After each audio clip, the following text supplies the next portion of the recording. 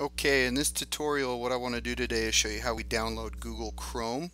Um, it's rather simple, but Google Chrome is a internet browser that we can use to browse the web, go to our favorite uh, web page, articles, wherever you'd like to go on the web, but it's uh, done by Google and we recommend it because number one, it's the fastest browser out there and it updates on its own. Um, there's other browsers out there that you can use um, if you're a PC user. Um, the one that's automatically installed is Internet Explorer. Um, and Windows actually just updated to Windows 10 and they use what's called Microsoft Edge now. Um, I personally haven't had the chance to use that. I've heard great things, but uh, I'm excited to give that a try as well.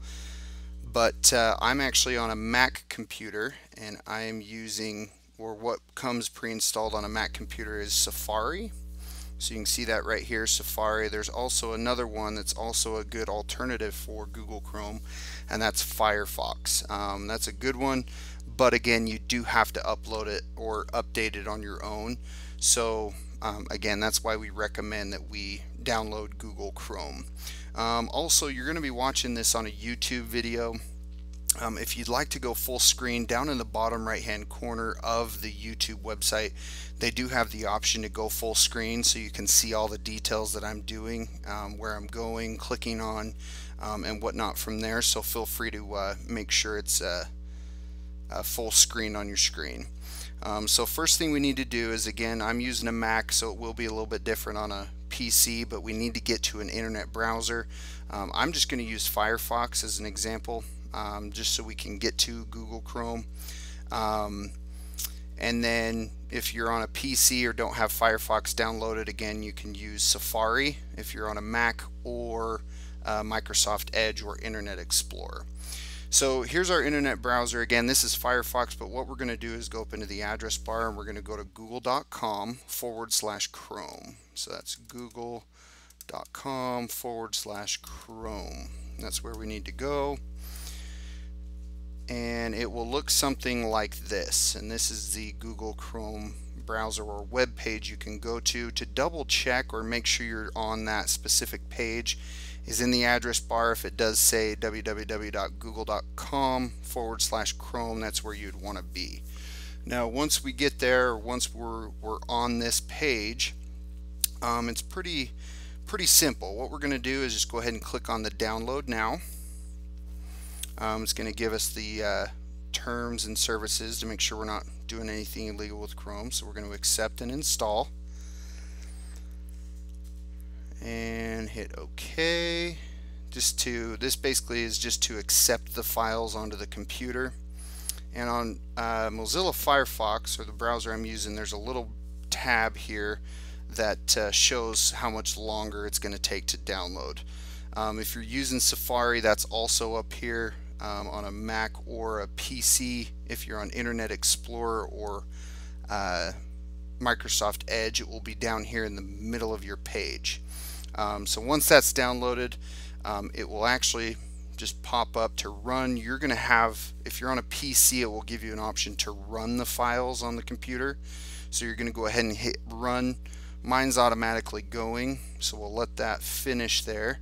Um, but what this will do is make it to where the, the Google Chrome browser is actually able to install onto your computer.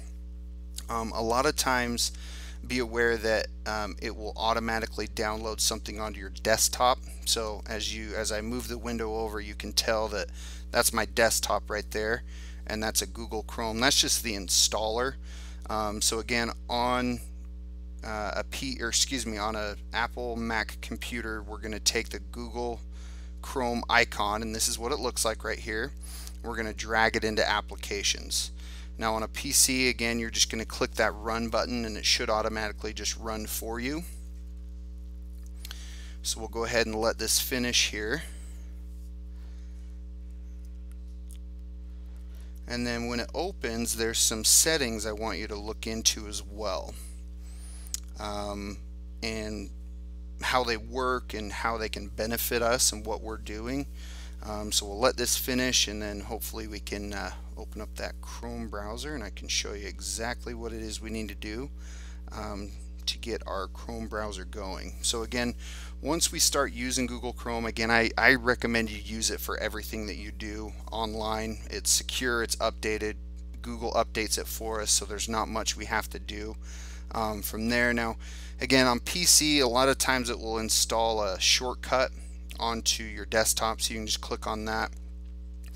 On a Mac computer, you do have to go to your applications folder and find it and if you'll notice that's where it is there's Google Chrome right there so we'll click on that and now it's going to boot up for us and here's just a warning. This is my computer just saying hey this was an application downloaded from the internet. Are you sure you want to open it? And that's yes because it's safe. It's definitely a safe download that we want to use. So we're going to open.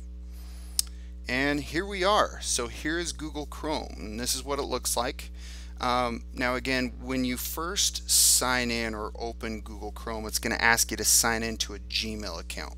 What this does is if you have a Gmail account, you can save your bookmarks, your favorites, um, some of your add-ons or extensions into Google, and it will be synced over multiple Chrome users. So maybe you have multiple devices or multiple computers in your home, or maybe you go out of town um, and you need your bookmarks. You can sign in to your Google Chrome and it will bring all your bookmarks, saves, your favorites, your add-ons, your extensions, everything there.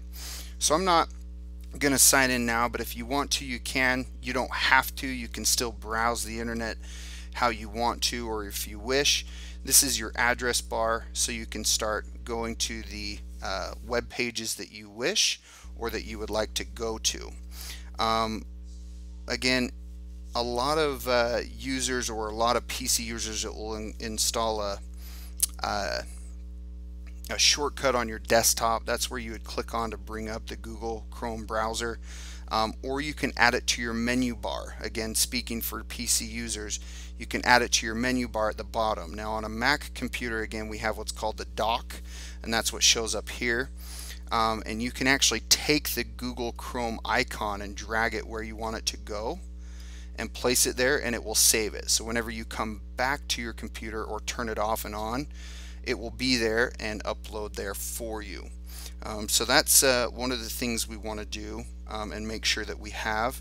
Um, one other setting, and this is an important setting, is if you want to use Google Chrome for everything that you do. So if you click on a link or go to a new web page, it opens it in Google Chrome, no other browser like you know Safari or Internet Explorer or Firefox. You want to set Google Chrome as your default browser. How you do that is you're going to click on these three little dots here up at the right hand corner. So we'll click on that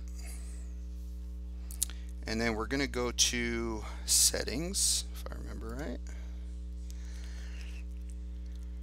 Yep, and here are our settings. And if you go down, uh, you might have to scroll down a little bit, but it's going to say um, default browser. Now mine is actually set to um, Google Chrome, okay, so I don't need to change anything but it will give you an option here to set your browser as Google Chrome. We want to select that and click on that and make sure that um, your Google Chrome browser is your default one. So it works or anytime you click on a link or whatnot it'll bring up the Google Chrome browser. And that's it. Other than that you can go to your address bar and and browse the web let's just go to maybe espn.com just as an example and it shows us there that we can um, uh, browse the web, go to our favorite pages, wherever we'd like to go to uh, do what we need to. So thank you so much. Hopefully that helps. If you have any other questions, let me know. Thank you so much. Goodbye.